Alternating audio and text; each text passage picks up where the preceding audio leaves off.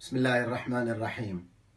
هناك قرار واضح وجاد من النظام في البحرين يسعى فيه لتصفية الرموز والقادة. فشل هذا القرار في تصفيتهم سياسيا واجتماعيا.